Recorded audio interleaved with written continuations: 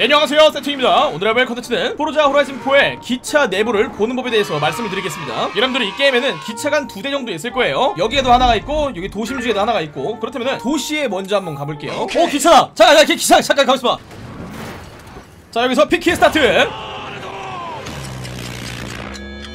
여러분들 P키를 누르시면 사진 모드로 바뀝니다. 이 상태로 들어갈 수가 있어요. 여기 앞에 들어갑니다 출발 스타트. 자 들어오시면은 여기 기관장님을 볼 수가 있어요. Hi어 반갑습니다. 자 보시면은 그래픽이 그렇게 좋은 편은 아니에요. 여기 건너편에 있는 사람은 진짜 완전 실제 같은데 앞에 있는 사람은 뭔가 좀 옛날 게임에 나오는 그런 그래픽 같은 느낌. 하프라이프 1 보시면은 여기 뭐 계기판 같은 거 있고 여러가지 조작기들이 있는데 제가 구분이 잘 안 가요. 그리고 보시면은 이 사람 손가락이 없어요. 그리고 여기 의자 하나랑 그리고 다리도 있고 이 열차 같은 경우는 하나 둘셋세 칸으로 나눠져 있고요. 보시면은 9-1번. 오케이. 제가 내부를 좀 더 자세히 보겠습니다. 이쪽으로 한번 들어오시면은 이런 식으로 의자가 구현되어 있는 것을 볼 수가 있어요. 의자는 이렇게 하나 둘셋넷네 명이서 마주볼 수 있는 구조로 되어 있어요. 그리고 이쪽에 계단 보이시죠? 여기 이제 사람들이 나가는 곳. 근데 참고로 문짝은 열리지 않아요. 여기서부터 여기까지 쭉 달리시면은 여기는 빈 공간 춤추고 놀 수 있는 장소 반대쪽으로 오시면은 기사님이 또 있거든요? Hi어 반갑습니다. 이분도 앞에 있는 분이랑 똑같아요. 근데 밖에서 보시면은 어차피 티가 안 나요. 그죠? 지금 여기서 보시면은 안에 누가 있는지도 안 보입니다. 이게 원래 정상이에요. 어 이제 도심 지역은 다 봤으니까 증기 기관차를 보러 갈게요. 여러분들 제가 지금 여기쯤에 왔습니다. 여기서부터 이제 기차를 찾아볼게요. 아니 또 기차가 찾을 땐 안 보이네 평소에 많았는데. 여러분들 기차가 안 나오는 관계로 쇼케이스 이벤트 한번 들어가 볼게요. 스타트. 갑시다 출발 스타트. 출발 스타트 출발 스타트. 자 일단은 여기 나가서 P키를 누를게요.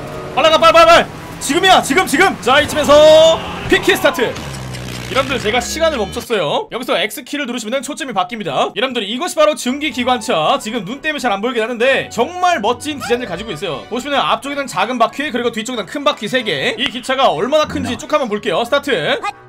자 보시면은 뒤에 끝도 없이 계속 나오는 것을 볼 수가 있죠. 끝이 없습니다. 여기까지 계속. 어디까지 가는 거야 도대체 여기까지. 제가 지금 거의 끝까지 왔거든요. 여기는 끊겨있고 이렇게. 그렇다면 내부에 한번 들어가 볼게요. 자 먼저 여기는 아무것도 없습니다. 보시면은 그냥 텅텅 비어있죠? 여기도 그렇고. 그렇다면 이쪽도 한번 들어가 볼게요. 여기가 어디지? 지금 여기 앞에는 텅 비어있는데 여기 안에는 무언가 구현이 되어 있어요. Oh. 와 보시면은 열차에 장비들이 달려있는 것을 볼 수가 있어요. 이것이 바로 포르자 호라이즌4의 디테일 정말로 세세하게 잘 만들었어요. 그리고 이 뒤쪽도 한번 들어가 보겠습니다. 출발 하트. 들어오시면은 여기는 텅텅 비었어요 그리고 이 위쪽에 그 연기 나오는 거 있고 굴뚝. 안쪽으로 더 들어가 볼게요. 여기는 벽 나무 문이 있는데 들어오시면은 아무것도 없죠? 한 번 더 들어오시면은 의자가 있는 것을 볼 수가 있습니다. 한 칸 두 칸. 그리고 옆에는 이렇게 나무 창문이 있고 뒤쪽으로 넘어와 볼게요.